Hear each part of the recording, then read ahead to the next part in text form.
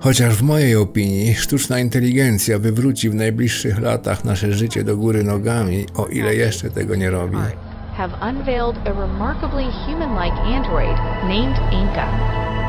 Wiele osób, często opiniotwórczych, nie wie w ogóle, co to jest. mówi coś o sztucznej inteligencji, a bandy pasożytów czekających na roboty, bo to się w gruncie rzeczy sprowadza do tego, że ta, ta sztuczna inteligencja będzie tak, będzie za nas po pierwsze pracować,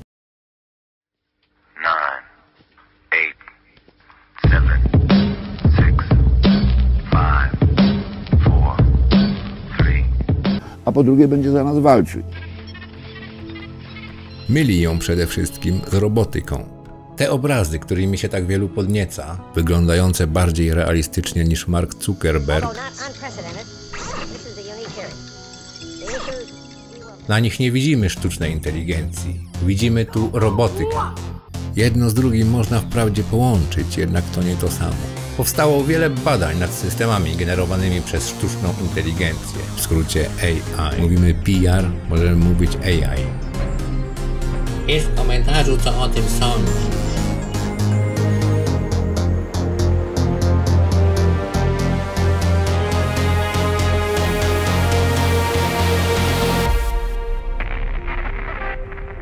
The percentage of intelligence that is not human is increasing. And eventually, we will represent a very small percentage of intelligence. I try to convince people to slow down, slow down AI, to regulate AI. AI już dzisiaj pisze lepsze streszczenia tekstów niż człowiek. above the 50% line, the AI does a better job Tłumaczy tak, że poprawianie jest często zbędne. Tworzy opisy ubrań na podstawie tabelek z parametrami i sama pisze artykuły prasowe o zmianach na giełdach. He's a postdoctoral fellow at the Weiss Institute at Harvard and also the Allen Discovery Center at Tufts University. Daj go na głośnik. Mamy już obrazy i filmy generowane przez AI. Badano jak stworzyć interesującą sztukę i realistycznie wyglądające, ale fałszywe obrazy, a także jak wykryć, czy zostały one wygenerowane przez człowieka, czy przez AI. Opowiada w wywiadzie Sam, którego przedstawiałem wam już w pierwszej części. Przytacza przykład eksperymentu, gdy jedna sztuczna inteligencja miała przechytrzyć drugą, tworząc fejkowe zdjęcia fikcyjnych osób. Druga miała wykryć, czy są prawdziwe, czy stworzone przez komputer. Gdy druga przestała dostrzegać różnice, nauczanie uznano za zakończone. near perfect synthesis of human faces, and remember, none of these people that you see here really exist. Nie jest to nowy przykład, ale warto zastanowić się nad potencjałem takich metod, np. do prowadzenia jakichś walk cybernetycznych. Podstawową cechą sztucznej inteligencji jest to, że się sama uczy. W jakim stopniu sama, to już zależy. Abstrahując od wiedzy przekazywanej, główną metodą pozyskiwania wiedzy jest metoda prób i błędów. Wiedza, która dziś jest dla nas oczywista, ludzkość zdobywała metodą prób i błędów przez wieki, a nawet tysiąclecia. Aha. Spójrzmy na saksofon, ten piękny drewniany instrument denty. I on drewniany? To może trochę słaby przykład. W przeciwieństwie do większości instrumentów, historia saksofonu nie jest długa. Saksofon nie ma wcześniejszych odpowiedników, na których bazowała. No dobra, jest on pewną ewolucją dawnych fletów i piszczałek, tak? Najstarsze mają ponad 40 tysięcy lat. Nieważne. Chodzi o to, że rozwój bazujący na metodzie prób i błędów bardzo długo trwa. Właściwie może trwać w nieskończoność, bo im dłużej trwa, tym lepszy efekt. O ile wiem, tak samo jest przy tworzeniu słynnych deepfake'ów. Jakość finalna zależy od czasu uczenia się maszyny.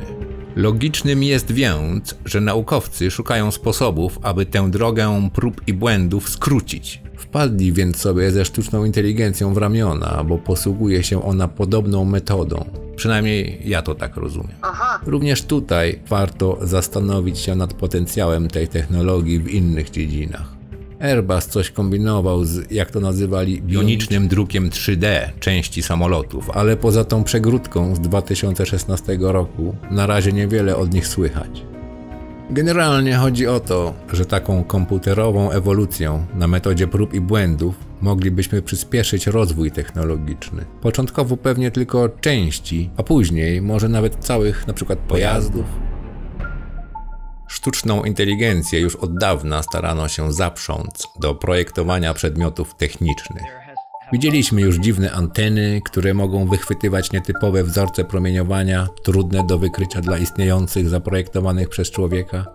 Były już też roboty skonstruowane przez sztuczną inteligencję, przykład Project Golem Jordana Polaka i Hoda Lipsona z roku 2000. AI miała w procesie symulowanej ewolucji wyłonić najlepiej poruszające się po danym terenie konstrukcje maszyn kroczących. Robiono to chyba dla NASA. Ukazały się również samo poruszające się biohybrydy. Kit Parker z Harvardu i jego współpracownicy stworzyli 16 mm 10-gramową płaszczkę. Szkielet ze złota otoczony jest elastycznym polimerem. Sposób, w jaki zostały one stworzone, to taki, że bierze się rusztowanie silikonowe i osadza w nim komórki mięśnia sercowego szczura.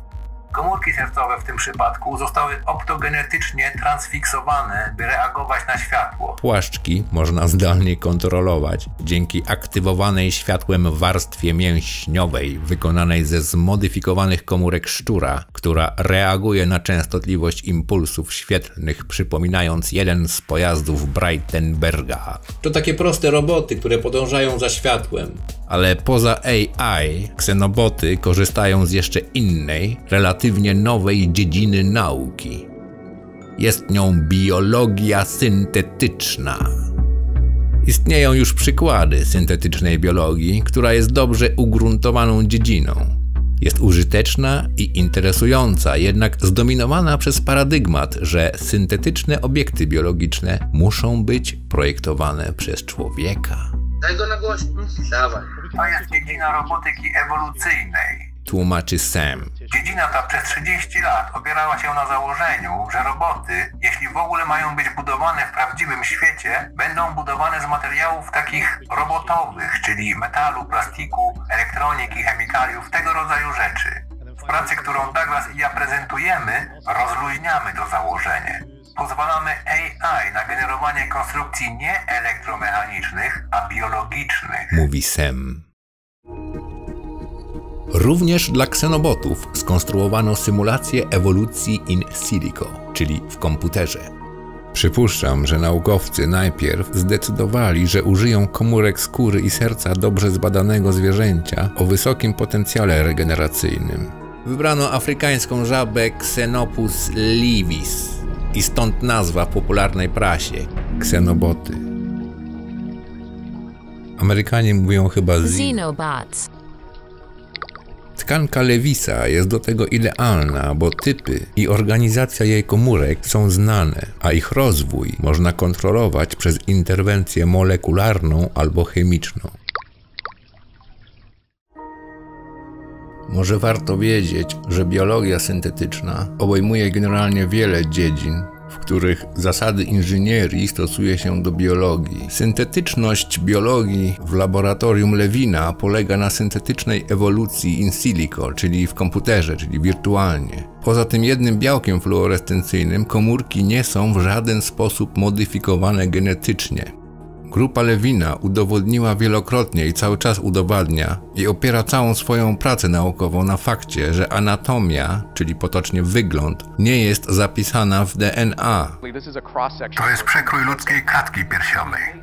Tu widać tą niesamowitą złożoność. Wszystkie te różne tkanki, które są ułożone we właściwy sposób. Musimy zrozumieć, skąd bierze się ten układ anatomiczny, ponieważ jeśli spojrzysz na genom, jeśli rzeczywiście przeczytasz, co jest w genomie, nigdzie tego nie można znaleźć. Tu widzicie organizmy diametralnie różniące się od siebie wyglądem, a wszystkie one mają identyczne i niezmienione DNA, Wild type. czyli dzikiego typu. Tymczasem gdzieś obok, w Stanach, jest wielka firma, która zajmuje się również syntetyczną biologią. Ginkgo Bioworks, a synthetic biology startup Skupiają się jednak wyłącznie na DNA. Ich skarbiec jest uważany za największy na świecie bank genetycznie zmodyfikowanych łańcuchów. Posłuchajcie, co mówi pani inżynier organizmu, cokolwiek by się pod tą posadą nie kryło. It's the DNA that defines what the microorganism does. To DNA projektuje to, co robi mikroorganizm. It's the DNA that decides what the organism looks like, To DNA decyduje o tym, jak organizm wygląda, DNA. jak działa, czy będzie rósł, czy nie. Wszystko sprowadza się do DNA, mówi pani inżynier. Daje to do przemyślenia wszystkim, którzy wierzą na przykład w 97% naukowców. Mój komentarz do tego jest taki. Wygląda na to, że we współczesnej nauce istnieją dwa środowiska podążające za różnymi paradygmatami. Jeden z nich musi być błędny. Jesteśmy najwyraźniej w szczęśliwej sytuacji bycia świadkami rozpadu fałszywego paradygmatu naukowego i to z pierwszych foteli. Ja jestem Tim Levin, jakby coś. Dla tych z nas, którym mówi się, że Genome Projects odpowiedzą na każde pytanie, jest to dalekie od prawdy. To bardzo ważne informacje, ale nadal musimy wykonać ciężką pracę, aby przejść od genomiki do anatomii. Słyszał ktoś z Was może, że kiedyś używano żab jako testu ciążowego? To właśnie pod skórę tego lewisa wsypano mocz testowanych. Żaby te są wrażliwe na pewien hormon. No i...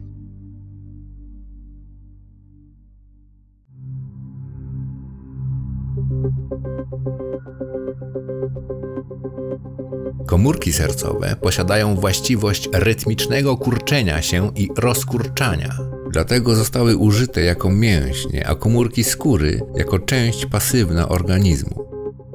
Z tych dwóch rodzajów komórek komputer miał tworzyć przypadkowe kombinacje i wybierać te, które najlepiej spełniają określone zadanie.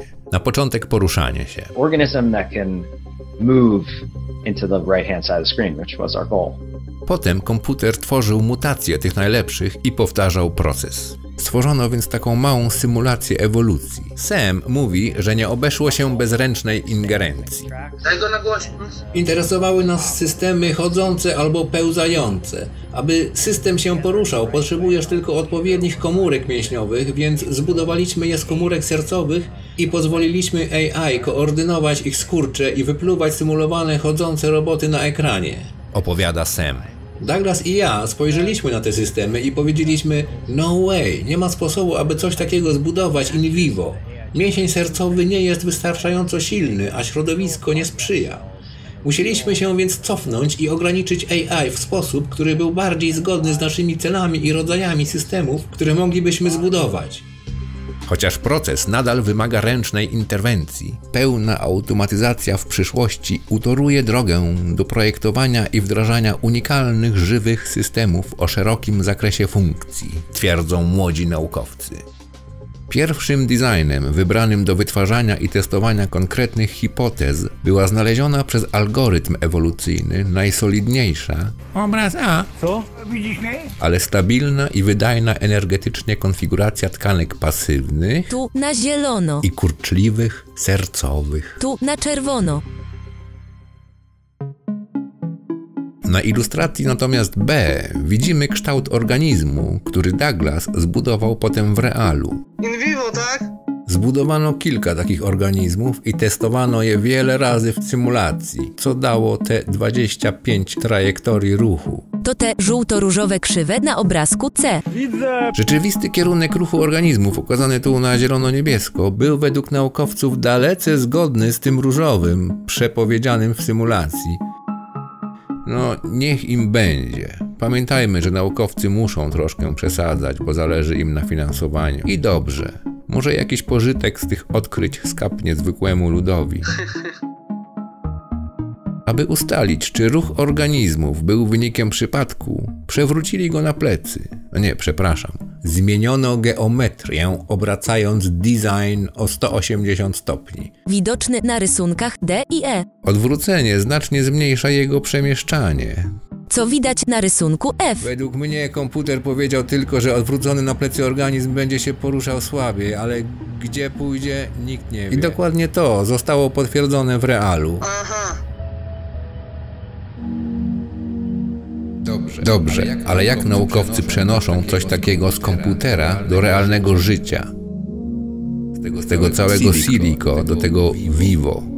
Jak budują taki organizm od strony technicznej? Coś takiego można chyba tworzyć za pomocą jakiejś zaawansowanej drukarki 3D. No nie do końca. Najpierw naukowcy szykują RNA kodujące fluorescencyjne białko EOS-FP. Aha. Krótko, pod wpływem światła UV zmienia się z zielonego na czerwone. There's no precedent for a protein that made by a biological organism would absorb blue light and turn and fluoresce green. W ten sposób organizm może zapamiętać, No co? no w sumie nic więcej poza tym, że został naświetlony światłem UV. Ale w mediach przeczytamy, Ksenoboty posiadają pamięć. jest to mniej więcej taka pamięć, jakby torba pamiętała, że leżała na świeżo malowanej ławce, bo są na niej ślady farby. Zakpiłem z tego początkowo. Gdy jednak zastanowiłem się nad tym jeszcze raz, uświadomiłem sobie, że zapamiętywanie jest rzeczywiście zjawiskiem w pewnym sensie pasywnym, na które nie mamy wpływu. Przynajmniej duża część naszej pamięci to zbiór śladów, jakie pozostawiło na nas otoczenie, niczym poobijany blat starego sosnowego stołu, pełen śladów codziennego użytkowania. To jest jego pamięć. To na razie tyle. To było 600 sekund do przyszłości. Daj łapkę w górę, subskrybuj i do zoo.